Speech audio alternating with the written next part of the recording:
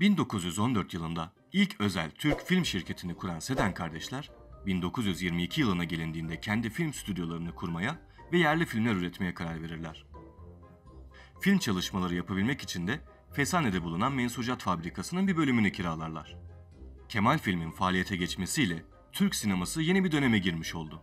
Aynı yıl 1916 yılından beri Almanya'da sinema faaliyetleri bulunan Muhsin Ertuğrul yurda geri dönmüştü.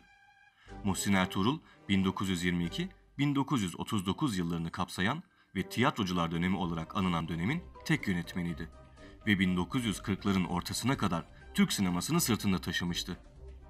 Almanya'da bulunduğu süre içerisinde arkadaşı olan Gustav Preis ile birlikte Türkiye'de Istırap adıyla yayınlanan Samson filmini çektiler. İkili bu filmde o güne kadar genellikle tek bir açıdan sabit çekim yapılırken sanatçının peşinden kamera gezdirme ve pek alışık olunmayan sık sık açı değiştirme gibi yenilik denemelerinde bulunmuşlardı. Bu filmin ardından ikili Kara Lale Bayramı filmini çektiler. Bu filmde de yine bir takım denemelerde bulunmuşlardı. Ancak içlerinden en ilginci Edward Detail'in Le Rue ismi tablosunun filmde canlandırılmasıdır. Bu filmden sonra Almanya'da son filmi olan Şeytana Tapanlar filmini çekti. Almanya'daki kariyeri iyi giden Ertuğrul, İsmail Galip Arcan'dan aldığı bir mektupla üzüntüye kapılmıştı. Bu mektupta Arcan, Darül Bedai'nde tiyatro yapmaya imkan kalmadığını, bu yüzden Paris'e geçerek oyunculuk yapacağını söylemişti. Bunun üzerine hiç beklemeden cevap yazan Ertuğrul şunları yazdı. Ben de istesem buraya yerleşebilirim. Hem de iyi tiyatrolardan birinde rejisör olarak. Aynı zamanda filmden de para kazanırım. Fakat ya Rabbi biz bunun için mi kafa patlattık? Bunun için mi çalıştık? O kadar sefalete, meşakkate, dudak bükerek alay edenlere bunun için mi katlandık? Sahnede heyecan duymadıktan sonra neme lazım para, neme lazım rejisörlük. Bir rejisörlük ki denize tohum eker gibi bende ve memleketimde hiçbir izi gözükmeyecek. Bu mektuptan kısa bir süre sonra 1921 yılında Ertuğrul memlekete döner. Gerçekten de Darül Bedai kötü durumdadır. Yeniden Darül Bedai'ye dönen Ertuğrul, çıkış yolu olarak bütün yönetimin sanatçılara bırakılmasını ve edebi heyet üyelerinin de sanatçılardan seçilmesini isteyen bir mektubu yönetime iletir. Yönetimin ise bu isteğe cevabı çok sert olur. Ertuğrul ve arkadaşları Darül Bedai'nden çıkartılır. Bunun üzerine önce Almanya'ya, sonra da Avusturya'ya giden Ertuğrul, 1922 yılında memlekete kesin dönüş yapar. Dönüşünden sonra aynı yıl faaliyete başlayan Kemal Film Şirketi ile çalışmaya başlar. Birlikte imza attıkları ilk iş İstanbul'da bir faciaya aşk filmidir. Birkaç açıdan Türk sineması için çok önemlidir. Öncelikle özgün senaryolu ilk filmdir. Ertuğrul, İstanbul'da işlenen bir cinayetten etkilenip bu senaryoyu ortaya çıkartmıştı. Şişli güzeli Mediha'nın bir aşığı tarafından öldürülmesini konu alan bu film, aynı zamanda Mediha rolüyle Türk sinemasına ilk hayat kadını tiplemesini sokmuş ve gişe rekorları kırmıştı. Bu filmin ardından Ertuğrul, Nur Baba filmini çekmeye başlamıştı. Yakup Kadri Karaosmanoğlu'nun aynı isimli romanından uyarlanan filmin çekimleri olaylı olmuştu. Bir Bektaşi şeyhinin serüvenleri üzerine kurulu olan bu roman, Akşam gazetesinde tefrika edilirken büyük tepkiyle karşılanmıştı ve bu yüzden yayına son verilmişti. Aynı tepki romanın tamamı kitap olarak yayınlandığında da devam etmişti. Tabii bu tepkiler aynı şekilde film çekimleri sırasında da devam etti. Filmin çekimi sırasında sadık müritler tarafından set saldırıya uğramış, dekorlar parçalanmıştı. Olaydan sonra filmde oynamaktan vazgeçen Vahran Parvazyan'ın yerine Muhsin Ertuğrul devam etmiş ve filmin çekimine polis koruması eşliğinde devam edilmişti. Çekimi biten filmin gösterimine ise işgal kuvvetleri izin vermemişti. Film ancak Cumhuriyet'in ilanından sonra dinci çevrelerin tepkisini almamak için ismi değiştirilerek Boğaziçi Esrarı adı ile 13 Aralık 1923 tarihinde gösterime girmişti. Türk sinemasında tek adamlığı iyiden iyi oturan Muhsin Ertuğrul, 1923 yılında ilk kurtuluş temalı film olan Ateşten Gömlek filmini çekti. Halide Edip Adıvar'ın aynı isimli romanından uyarlanan bu filmle beraber ilk kez Türk kadınları oyunculuk yapabilmişti. Ertuğrul aynı yıl Kemal Film çatısı altında Leblebici Horhora ve Kız Kulesi'nde bir facia isimli filmleri imzasını attı. 1924 yılında sadece bir film çeken Ertuğrul, Peyami Safa'nın aynı isimli romanından uyarladığı Sözde Kızlar filmini çekti. Ertuğrul ve Kemal filmin birlikte yaptıkları bu filmler arasında en iyi ticari başarıyı ise Ateşten Gömlek filmi sağlamıştı. Ancak Cumhuriyet'in henüz ilk yıllarında Kemal Film Fesane'de kullandıkları stüdyoları boşaltmak zorunda kalmışlardı.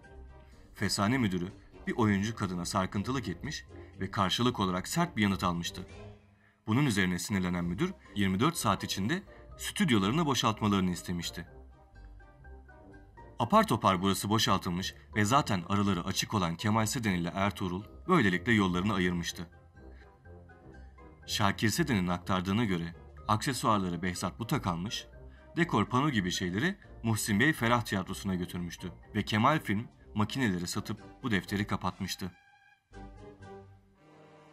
1925 yılında Sovyetler Birliği'ne giden Ertuğrul, burada 1925 yılında Tamilya filmini, 1926 yılında Spartaküs filmini ve yine aynı yıl 5 dakika isimli filmi çekmişti.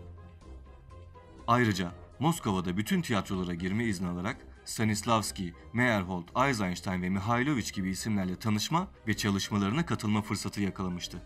1928 yılına gelindiğinde Türkiye'de ikinci özel yapım evi olan İpek Film kurulmuştu.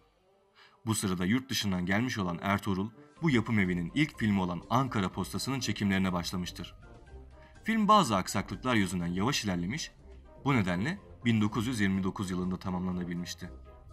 Aynı yıl çekimine başlanan Kaçakçılar filmi ise oyunculardan birinin çekim sırasında bir kaza geçirmesi ve bu kazada ölmesi nedeniyle o sene tamamlanamamıştı. Tütün kaçakçılığını konu alan bu filmin bir sahnesinde polislerden kaçan Talat Artemel, kullandığı araba ile beraber uçurumdan yuvarlanmış, arabada bulunan Karakaş hayatını kaybetmiş, Sayit Kökner ise çeşitli yerlerinden yaralanmıştı. Bu beklenmedik kazadan sonra film ancak 1932'de halka gösterilebildi. İstanbul Sokaklarında filmi ise bu filmden bir sene önce yani 1931 yılında yayınlanmıştı. Bu film Türk, Yunan ve Mısır ortaklığı ile yapılmış ve Türk sinemasında ilk ortak yapım filmdir. Öte yandan ses dublajı Paris'te yapılan bu film sinemamızdaki ilk sesli film olma özelliğini taşır. Günden güne büyüyen Türk sineması içinde Ertuğrul da günden güne tek yönetmenliğini güçlendirmişti. 1932 yılı Ertuğrul'un filmografisi açısından çok önemliydi. İlk yüz akı filmlerimizden olan ve Ertuğrul'un en önemli filmi sayılan Bir Millet Uyanıyor filmi bu yıl çekilir. Hey! Arkadaşlar, kardeşler! Yaşasın istiklal! Yaşasın istiklal! Abdurrahman Bey ne duruyorsun ateş et? İlk defa bir oyuncu yani Atıf Kaptan bu filmle beraber halk içinde ünlenmişti. Aynı zamanda Nazım Hikmet bu filmde hem seslendirme yönetmenliği hem de reji asistanlığı yapmıştı. Yine aynı yıl İpek Film Nişantaşı'nda ilk sesli stüdyoyu kurup işlemlere başlarlar. Dublaj yapan sanatçılar arasında Nazım Hikmet ve Ferdi Tayfur gibi isimler de yer alır. 1933 yılında çekilen 7 filmden 5'inin senaryosunu Mümtaz Osman adı ile Nazım Hikmet yazmıştı. Düğün Gecesi Kanlı Nigar filminde ise senaryo yazarlığının yanında yönetmenlik görevini üstlenmişti. Bu filmden sonra tiyatro oyuncularından olan Hazım Körmükçü de ilk yönetmenlik denemesini Yeni Karagöz filmiyle yapar. 1934 yılına gelindiğinde HK Film Şirketi kurulur. Ertuğrul bu yıl Milyon Avcılarını ve Leblebici Horhor Ağa'nın yeniden çekimini yaparken Nazım Hikmet İstanbul Senfonisi isimli kısa filmi çeker.